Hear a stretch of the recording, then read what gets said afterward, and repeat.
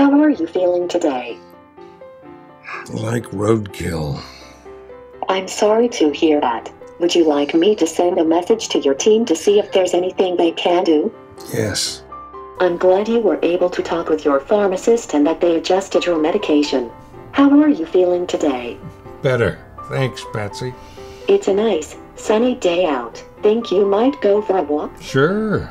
Don't forget your medication and a bottle of water. Want me to set a reminder? Good idea.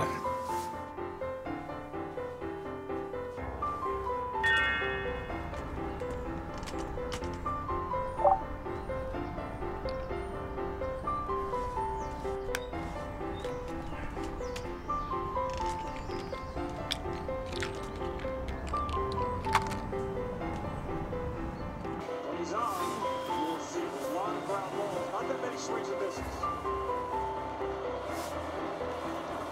On